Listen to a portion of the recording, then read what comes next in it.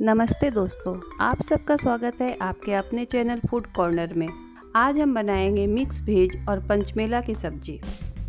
अगर आप रोज़ एक ही तरह की सब्ज़ी खाकर बोर हो गए हों तो एक बार इस तरह सब्ज़ी बनाकर देखें। The best thing about this recipe that you can use any green vegetables that are in your kitchen let's look at the ingredients हरी सब्ज़ियाँ लगभग 500 ग्राम आप अपने पसंद की कोई भी सब्ज़ी ले सकते हैं। चार मीडियम साइज़ के टमाटर, अदरक का टुकड़ा छः सात हरी मिर्च 20 से 25 ग्राम खसखस, जीरा दो चम्मच, सौंफ एक चम्मच, काला जीरा आधा चम्मच, तेज पत्ता तीन से चार पीस, आधा चम्मच हींग।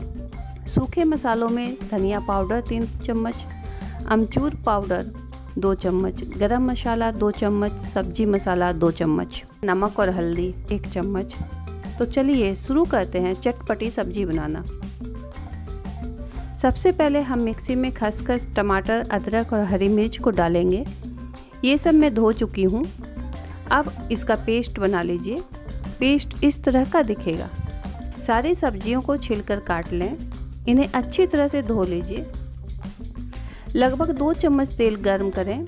इसमें जीरा और काला जीरा डालिए। अब हम इसमें हींग, सौंफ और तेज़पत्ता डाल देंगे। ये मैं डाल रही हूँ अदरक। चलिए अब हम ऐड करते हैं कटे हुए आलू। ये कच्चे आलू हैं। इनको मैंने छोटे पीसेस में कट कर लिया है। अब हम सारी सब्ज़ियाँ भी डाल देते हैं। आप इसमें अपने पसंद की कोई भी मौसमी सब्ज़ी डाल सकते हैं। यह काफ़ी पौष्टिक होती है। चलिए अब डालते हैं नमक और हल्दी। नमक आप अपने स्वाद के अनुसार कम या ज़्यादा डालिए। इसको अच्छी तरह से चम्मच से मिला लीजिए।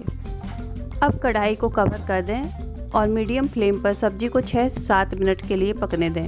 इसे बीच में चला लें या फिर से ढककर सब्जियों को पाँच मिनट के लिए पकाएँ। सब्ज़ियाँ पक चुकी हैं और इसमें अच्छी खुशबू आ रही है।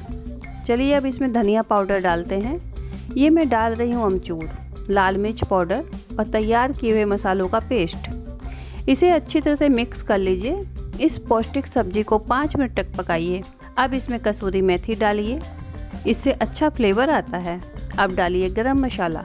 अब इसमें सब्ज़ी मसाला डालेंगे। अगर आपको सब्ज़ी मसाला पसंद नहीं है तो ना डालें।